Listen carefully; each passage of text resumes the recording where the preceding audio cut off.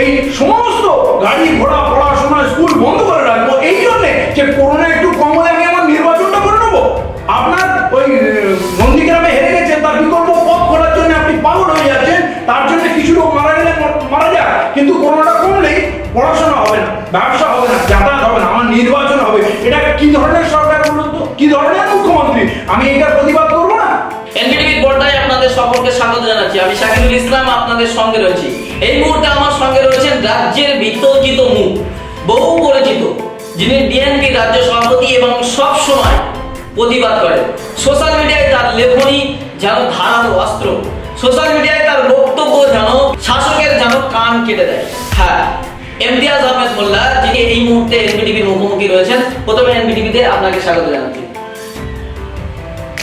আপনার কাছে জানতে চাইব যে আপনি বেশ কয়েকদিন ধরে ফেসবুকে ভোটের নির্বাচনের ফলাফল ঘোষণা করার পর রাজ্য সরকার তৃতীয়বারের মতো মমতা বন্দ্যোপাধ্যায় মুখ্যমন্ত্রী হলেন এবং তৃণমূল তিনবারের সরকার গঠন করলেন। তারপর থেকে ভোটের আগে একটা অংশে আপনার বক্তব্যে আমরা দেখেছিলাম যে বিজেপিকে হারাতে এই মুহূর্তে বিকল্প শক্তি হিসেবে তৃণমূল ছাড়া কেউ না তৃণমূলকে সাপোর্ট করলেন।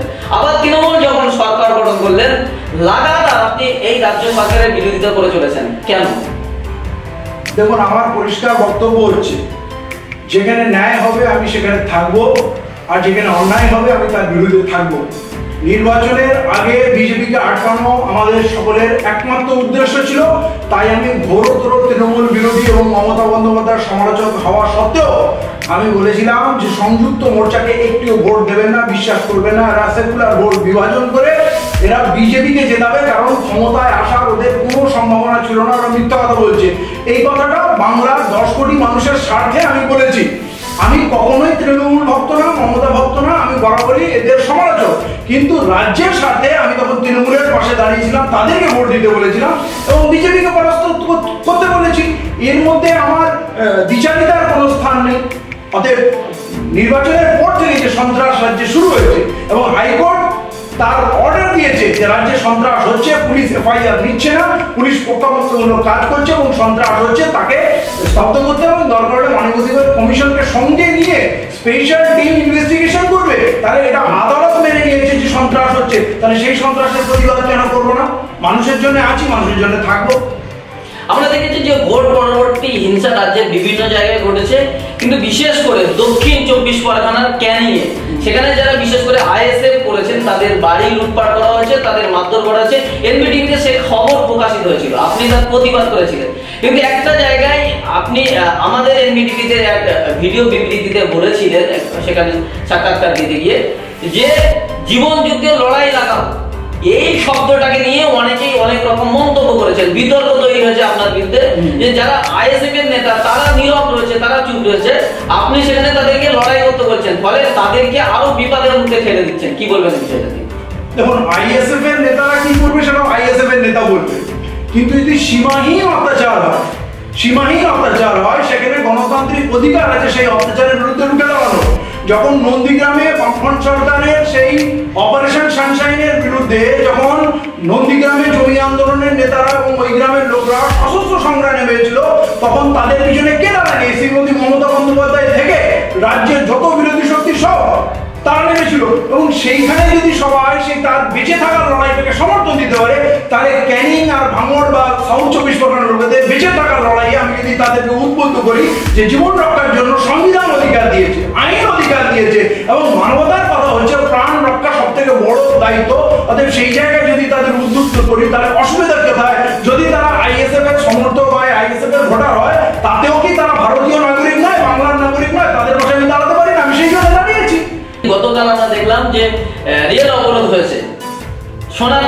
আজকে ক্যানিং বেদবড়িয়া এবং বিভিন্ন এলাকায়, দক্ষিণ বিভিন্ন জায়গায় রেল রেল অবরোধ করেছে সাধারণ মানুষরা। কারণ অনেকেই বলছেন যে আপনি কয়েকদিন আগে ফেসবুকে পোস্ট করেছিলেন, মন্তব্য করেছিলেন যে এই রাজ্য সরকার গরিব মানুষকে মারার দিকে ঠেলে দিচ্ছে, রাজ্য সরকার গরিব মানুষকে মারতে যাচ্ছে। তাই জন্য লোকাল ট্রেন এবং বাসগুলো বন্ধ করেছে। ফলে এর জন্য প্রতিবাদ হওয়া দরকার, এর জন্য হরতাল হওয়া দরকার, এর জন্য গোটা রাজ্য জুড়ে বন ডাকা দরকার। এইরকম ধরনের মন্তব্য আপনি সোশ্যাল মিডিয়ায় করেছিলেন। অনেকে মনে করছেন তার ইফেক্ট কি বলবেন এটা? হতে পারে। একেবারেই হতে পারে। কারণ আমি মাটির সঙ্গে জড়িয়ে আছি। সাউথ চব্বিশ পরগনা আমার দ্বিতীয় ঘর বলতে পারেন। নর্থ চব্বিশ পরগনা, হাওড়া, হুগলি মালদা মুর্শিদাবাদ, এই চত্বরে আমার ব্যাপক যাতায়াত। এবং হাজার হাজার লোক ডাইরেক্টলি আমার সঙ্গে জড়িত। প্রচুর লোক ফোন করে, হাজার হাজার লোক মেসেজ করে, তাদের কষ্টের কথা বলে। অতএব আমি জানি বাস্তব কথা, তাদের মানে মরণ প্রায় অবস্থা। এই জায়গায় রাজ্য সরকার যেটা করেছে, চরম দায়িত্বহীন, নিষ্ঠুর আচরণ এবং মানুষের গলা টিপে মেরে ফেলার মতো আচরণ সাউথ চব্বিশ পরগনায় বিশাল সংখ্যক কয়েক লক্ষ মানুষ আছে যারা অন্যের বাড়িতে পরিচারিকার কাজ করে, যারা রিক্সা ঠেলা চালায়, যারা কুলিগিরি করে, যারা দারবানি করে, যারা কলকারখানায় কাজ করে এবং তাদের সাউথ চব্বিশ পরগনার জীবন জীবিকার কোনো উপায় তেমন নেই। অতএব সেই জায়গায় তাদের একমাত্র যাতায়াতের অবলম্বন হচ্ছে ট্রেন। সেই ট্রেনটা কেন্দ্রীয় সরকার, রেলওয়ে মিনিস্ট্রি বলছে, আমরা ট্রেন চালাতে রাজি আছি, ট্রেনের ব্যবস্থা আপনি অনুমতি দিলে চালাবো। শ্রীমতী মমতা বন্দ্যোপাধ্যায় সেটা আটকে না। এবং অলরেডি বেশ কিছু মানুষ আত্মহত্যা করেছে, সে খবর জানি। ভিতরের খবর জানি, মানুষের ঘরে চাল নেই, খাবার নেই, কিছু নেই। এরকম অবস্থায় মানুষের জন্য যদি চিৎকার করি, যদি বলি হ্যাঁ বন্ড ডাকতে হবে। হ্যাঁ বলেছিলাম বন্ড ডাকতে হবে। কেন জানেন? এর আগে যখনই বিরোধীরা বন্ধ রেখেছে তখন মমতা বন্দ্যোপাধ্যায় পাগল হয়ে যায় এবং তখন বলেন, সব গাড়ি চলতে হবে। দরকারে ফাঁকা গাড়ি চলবে।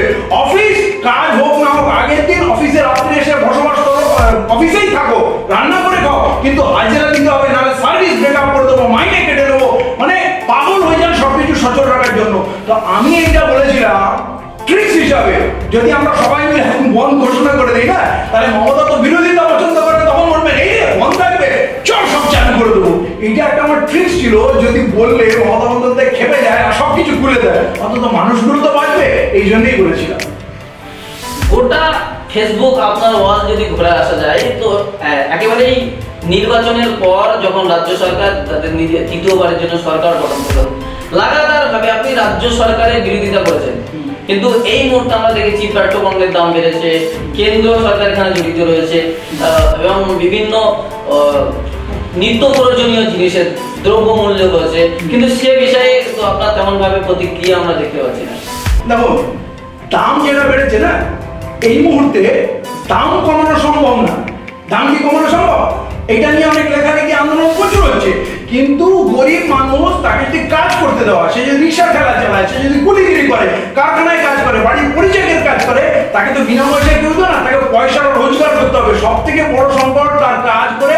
আমি বলুন না, পেট্রোল যে এখন তিরানব্বই বা সাতানব্বই টাকা হয়েছে, আন্দোলন করে, এখন পেট্রোলের দাম কমিয়ে দেবে কেউ? এটা আন্দোলন করা হবে। কিন্তু যেটা রাজ্য সরকার মমতা বন্দ্যোপাধ্যায় কি সব জিনিসের দাম কমাতে পারবে? হ্যাঁ দ্রব্যমূল্য নিয়ন্ত্রণ করার দায়িত্ব সরকারের কিছুটা হলেও আছে। কিন্তু কেন্দ্র সরকার বলেছে যত ইচ্ছা মজুত করো যে কোনো দামে বিক্রি করো already essential commodity act nineteen fifty ফাইভটাকে abolish করে দিয়েছে ডাইলুট করে দিয়েছে। এখন কালা কালোবাজারি হবে, আইনত হবে। অতএব এরকম একটা জায়গা শ্রীমতী মমতা বন্দ্যোপাধ্যায় অন্তত ট্রেন বাস চালু করে বড় লোকদের অফিস খোলা আছে, তারা এসি কার করে যাচ্ছে। কিন্তু গরিব মানুষ যাবে কি করে? তার তো পুঁজি নেই, তার তো নিজের গাড়ি নেই। সাইকেল করে তো সে ক্যানিং থেকে কলকাতায় বা জয়নগর থেকে কলকাতায় আসা সম্ভব না। চারখানা, পাঁচখানা অটো পাল্টে তার যাতায়াতে সারাদিনে দুশো টাকা আড়াইশো টাকা খরচ হয়ে যায় আর যেতে যেখানে এক ঘণ্টার জার্নি সেটা চার ঘণ্টার জার্নি হয়ে যায়। যে আসবে কখন, যাবে কখন, কাজ করবে। অতএব এইটা করা মুখ্যমন্ত্রীর হাতে ছিল। এই জন্য এইটার উপরে আমি ব্যাপকভাবে লিখেছি। মানুষগুলো অন্তত ছেড়ে দিন, তারা মেহনত করে হাতে করবে কিছু করে খাক। তারা বাঁচুক। কারণ ওই দু কিলো চাল দিয়ে দিলে না, তার জ্বালানিটা, তার তেলটা, নুনটা, মশলাটা, শাকটা, সবজিটা, বাকি জিনিসটা কখনোই জোগাড় করা সম্ভব না। জ্বালানি কোথা থেকে আনবে? অতএব এইরকম একটা জায়গায় একটাই সহজ উপায় ছিল, মানুষকে বাঁচার সুযোগ দিন। মানুষ মরছে এবং ব্যাপক, আরে লক্ষ লক্ষ মানুষ মারা যাবে। সেই যন্ত্রণা আমি সহ্য করতে পারিনি, কারণ আমার কাছে মানুষ চাইছে। আমার পরিজন, আমার যারা বন্ধু বান্ধব আছে, যারা তারা আমাকে হোয়াটসঅ্যাপে মেসেজ করছে, দাদা, চাল নেই, পয়সা নেই, কিছু একটা কাজ দিন, কি করব? সেই কষ্ট, সেই যন্ত্রণা, আমার কাছে প্রচুর টাকা নেই। আমি তো সবাইকে দিতে পারব না আমার হয়তো দু চারজন পরিচিত লোককে আমি কিছু টাকা অ্যাকাউন্টে ফেলে দিলাম। সেই কষ্ট আমি সহ্য করতে পারছি না, মানুষ রীতিমতো মারা যাবে। সেই জন্য আমি বলি অন্তত গাড়ি ঘোড়াটা খুলে দেওয়া গাড়ি ঘোড়াটা খুলে দিলে মানুষ করে অন্তত বাঁচুক। এই সমস্ত গাড়ি ঘোড়া, পড়াশোনা, স্কুল বন্ধ করে রাখব, এই জন্যে যে করোনা একটু কম হলে আমি আমার নির্বাচনটা করে নেব আপনার ওই আহ, হেরে গেছেন তার করব পথ খোলার জন্য আপনি পাগল হয়ে যাচ্ছেন তার জন্য কিছু লোক মারা গেলে মারা যাক কিন্তু করোনাটা কমলেই পড়াশোনা হবে না ব্যবসা হবে না যাতায়াত হবে না আমার নির্বাচন হবে। এটা কি ধরনের সরকার বলুন তো? কি ধরনের মুখ্যমন্ত্রী? আমি এটার প্রতিবাদ করব না? মূলত মানুষের সাথে আপনি প্রতিবাদ করতে যাচ্ছেন এটা বলতে যাচ্ছেন। অবশ্যই মানুষের জন্য। আমি না পার্লামেন্টে আছি না বিধানসভায় আছি না সরকারে আছি। আমি একটা সাধারণ মানুষ। মানুষের মধ্যে আছি, মানুষের কথা অনুভব করি, মানুষের কথা বলব, যতদিন বেঁচে থাকব বলে যাব। এই পরীক্ষা নিয়ে যে রাজ্য এবং কেন্দ্র মাধ্যমিক উচ্চ মাধ্যমিক পরীক্ষা বন্ধ করে দিল। সোশ্যাল মিডিয়ায় আপনি প্রচুর লিখেছেন। এবং আমরা দেখেছি যে আপনি এমন লিখেছেন যে মুখ্যমন্ত্রী এভাবে ছাত্রদের ভবিষ্যৎ একটা ধ্বংসের পথে ছেড়ে দেবে এটা আমি বিশ্বাস করতে পারছি এইরকম ধরনের হ্যাঁ, হ্যাঁ, শব্দ। ইউজ করেছেন। তো সেক্ষেত্রে আমরা আপনাকে বলব যে এই শিক্ষা নিয়ে আপনার কি অভিমত কি বলবেন? রাজ্য এবং কেন্দ্রের আমি যেটা বলেছি আজকের দিনে মিলিয়ে নিন। কালকে শ্রীমতী মমতা বন্দ্যোপাধ্যায় বলেছেন, এখন করোনা পুরোপুরি কন্ট্রোলে এখনই উপনির্বাচন করে নেওয়া উচিত। তিন দিন আগে উনি বলেছেন, পাঁচ দিন আগে উনি বলেছেন, এই পরিস্থিতিতে পরীক্ষা নেওয়া সম্ভব না, আমার বাচ্চাদের জীবন ঝুঁকি নিতে পারি না। ওই ছেচল্লিশ হাজার, সাতচল্লিশ হাজার ইমেলের উপরে এক ঘণ্টা ডিসিশন হয়ে গেল। দশ লক্ষ স্টুডেন্ট যার বাবা মা, যার ছেলে ছেলেপুলেরা পড়াশোনা বহুদিন ছেড়ে দিয়েছে, কোনোদিন পাশ করবে না, তারা তো বলবে যে পরীক্ষাটা নিও না। তার মানে মাত্র ছেচল্লিশ হাজার আপনার eighty five percent eighty six percent করেছে, না বলেছে। আচ্ছা মুখ্যমন্ত্রী যদি মনে করে যে পরীক্ষাটা একটা স্কুলে পঞ্চাশটা স্টুডেন্ট একটা স্কুলে অন্তত পাঁচ থেকে দশখানা কামরা আছে, এক একটা রুমে পাঁচটা, ছটা করে ছেলেকে বসালে ফাঁকা স্কুল সব পড়ে আছে তো। সেইখানে পরীক্ষা নেওয়া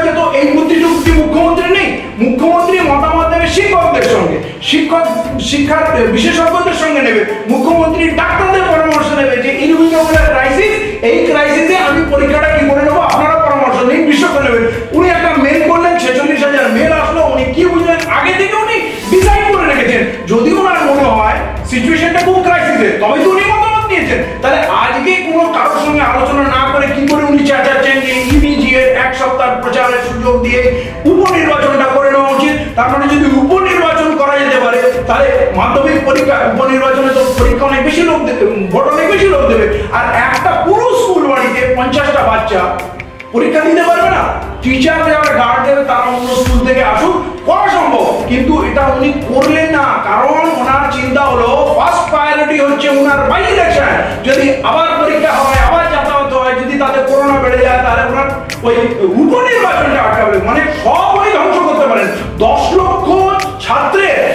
জীবন ধ্বংস করে দিলেন, পড়াশোনা ধ্বংস করে দিলেন ওরা কোনোদিন স্বাভাবিক পড়াশোনায় আসবে না। ওই যে একটা ফেক মার্কশিট দেবে না, যেটা পরীক্ষা না দিয়ে মার্কশিট তার কোনো ভ্যালু আছে?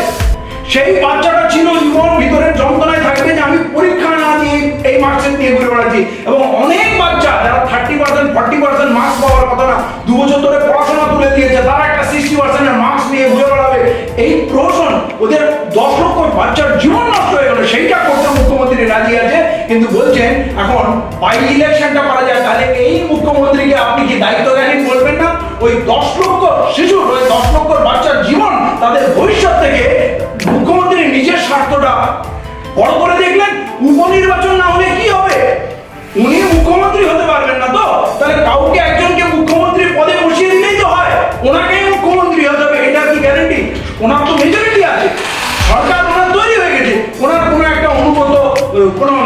উনি মুখ্যমন্ত্রী করে দিলেই পারেন, কোনো সমস্যা নেই। কিন্তু না ওনার যেহেতু মুখ্যমন্ত্রী হতেই হবে তাদের দশ লক্ষ ছেলের জীবন নষ্ট হয়ে যায় কিন্তু। তাহলে একে স্বার্থপর বলব না, এর লিখব না, বলব না, তো কি বলব? দশ লক্ষ মানুষ। এবং পড়াশোনার ট্রেন খালি দশ লক্ষ না, এই পড়াশোনার ট্রেনটাই ধ্বংস হয়ে যাচ্ছে। স্কুল তালা পড়ে আছে, যাতায়াত নেই তাদের মরছে ধরছে টেবিল চেয়ারে উই পোকা লাগছে শিক্ষার সেই সংস্কৃতিটা, পড়াশোনার সংস্কৃতিটাই ধ্বংস হয়ে যাচ্ছে। প্রিয় দর্শক, আমরা এতক্ষণ ধরে কথা বলছিলাম বিএনপির রাজ্য সভাপতি এবং বাংলার একজন প্রতিবাদী যখনই সমস্যা হয়েছে, যখনই মানুষ সরকারের রোশনালের শিকারে হয়েছে, তখন কেউ না মুখ খুললেন একজনই মুখ খোলেন যিনি ইমতিয়াজ আহমেদ মোল্লা। আর আমরা তার সঙ্গেই এতক্ষণ ধরে কথা বলছিলাম। একেবারে সর্বশেষ মুহূর্তে, সর্বশেষ কথা আপনার কাছ থেকে জানতে চাইব। এই যে গোটা পরিস্থিতিতে সরকারের কি করণীয় বলে আপনি মনে করেন? সরকারের প্রথম করণীয় যাতায়াতের ব্যবস্থা খুলে দেওয়া হবে উনি বলছেন দু কোটি টিকা দেওয়া হয়েছে, বাকি ভ্যাকসিন উনি দেওয়ার ব্যবস্থা করুন, যেটা কাজ। অক্সিজেনের সময়, চাহিদার সময় অক্সিজেন পাওয়া যায়নি হাসপাতালের বেড পাওয়া যায়নি। শুধু এটা না, ভারতবর্ষের চিত্র, সরকারের যেটা কাজ, আজ এক বছর কয়েক মাস হয়ে গেছে, যেটা এক নম্বর প্রায়োরিটি এবং এই দেশে করোনা আসার চার মাস আগে থেকে ইউরোপ দাবিয়েছে, তারও আগে চায়নায় উহান প্রদেশ থেকে যেটা নিয়ে এত চর্চা যেটা নিয়ে টেলিভিশন চ্যানেলে দিন রাত বলা প্রদেশে ল্যাবরেটরিতে ভ্যাকসিন তৈরি করে পুরো পৃথিবীতে ছড়িয়ে দিল। তাহলে পুরো পৃথিবীর সব দেশ সেই করোনার সঙ্গে মোটামুটি যুদ্ধ করে কন্ট্রোল করতে পারল। আর সুপার পাওয়ার ভারতবর্ষ সেটা পারল না। সরকারের উচিত তার প্রকৃত টিকাকরণ, তার স্বাস্থ্য পরিষেবা ব্যবস্থা করা অক্সিজেন মাস্ক স্যানিটাইজার এইগুলো ব্যবস্থা করা। আর বেশি বেশি করে গাড়ি ঘোড়া চালানো, বেশি বেশি করে গাড়ি ঘোড়া চালানো যাতে বেশি লোকের চাপ না হয়। সেখানে ওরা গাড়ি কম করে দিচ্ছে ট্রেন কম করে দিচ্ছে। আমার মনে হয় করোনাকে কন্ট্রোল করতে হবে দেখতে হবে কিন্তু মানুষকে বাঁচিয়ে রেখে মানুষকে মেরে নয়। আর নাহলে উম, করোনা কোনোদিন কন্ট্রোল হবে না। এইভাবে যখন যখন করোনা বাড়বে, তখন তখন লকডাউন করে দেবেন এইটা কোনো পদ্ধতিও দাঁড়াবে না। লকডাউনটা কোনো চিকিৎসা নয়। আর এইটা যেটা হচ্ছে, বিশেষ করে বড় লোকদের স্বার্থ রক্ষা করে। তাদের কলকারখানা অফিস আদালত সব খোলা থাকছে। তাদের ব্যবসা খুলে যাচ্ছে, তাদের পুঁজি বাড়ছে, তাদের সম্পদ বাড়ছে। আর গরিব মানুষ নিঃশ্বাস হয়ে যাচ্ছে, যার কোনো পুঁজি নেই, না খেয়ে মারা যাবে। তাহলে এটা বড় দায়িত্বজ্ঞানীর কাজ। আমি বলব, অবিলম্বে যোগাযোগ ব্যবস্থা খুলে দেওয়া আর মানুষকে কাজ করে বাঁচার সুযোগ সুবিধা করে হোক। কারণ এদেশের সরকারের ক্ষমতা নেই যে গরিব মানুষকে বসিয়ে অ্যাকাউন্টে টাকা দিয়ে তাকে চালাবে। করেছে। তাদের সাথে কিন্তু আমাদের মানুষকে জায়গা করে দিতে হবে, কাজ করার। ইমিডিয়েট এইটা না করলে লক্ষ লক্ষ মানুষ মারা যাবে, আত্মহত্যা করবে। এইরকম একটা ভয়ঙ্কর জায়গায় আমরা দাঁড়িয়ে আছি। ধন্যবাদ, আপনার মূল্যবান সময় দেওয়ার জন্য। প্রিয় দর্শক আমরা আজকের মতো এখানে শেষ করছি। পরবর্তী খবরে আপডেট পেতে আমাদের সঙ্গে থাকবেন সকলে ভালো থাকবেন, সুস্থ থাকবেন।